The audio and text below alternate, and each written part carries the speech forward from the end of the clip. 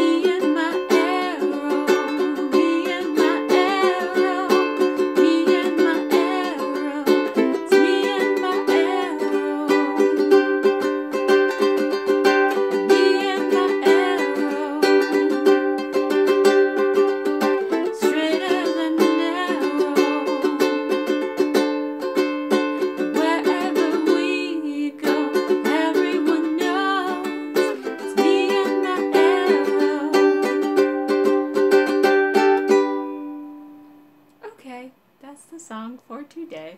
Um, yeah.